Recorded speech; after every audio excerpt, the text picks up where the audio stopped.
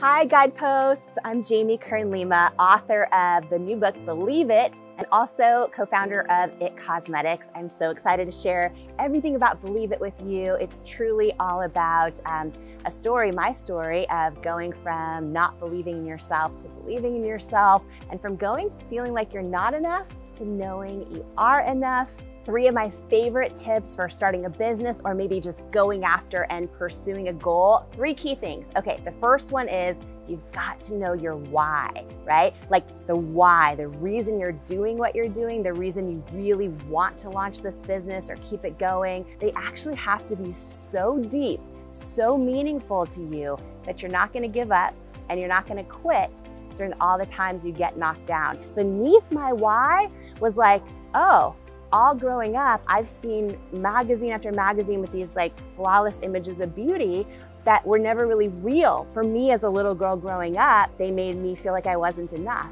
And so I wanted to create a company where the why behind the why was to show real images of all kinds of people, right? No matter what they look like, no matter their age, their size, their skin tone, their skin challenges, I wanted to use those as models and really try to shift culture in the beauty industry for every little girl out there who's about to start doubting herself and every grown woman who still does. Number two, and this one's big, especially if you are an entrepreneur um, or you want to like launch a blog or, or write a book or launch a podcast, you have to prioritize cash over flash, right? Cash flow over flash flow. And here's what I mean by that. You know, we are in such a digital world now, social media driven world where it's so easy to like think like, oh, I've got to do something for my business that looks really good on Instagram or Facebook, or I've got to make, you know, I need selfie moments or I need this. And that stuff's expensive.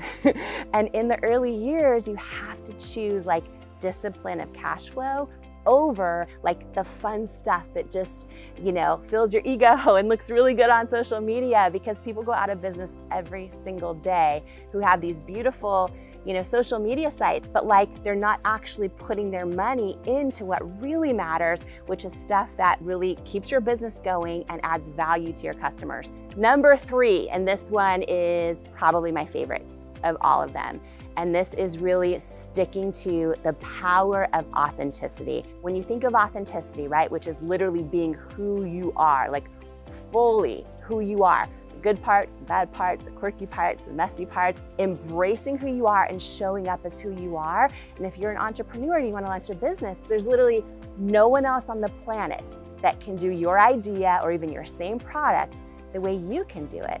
And when you step into all that you are and you embrace it fully, that is when magic happens.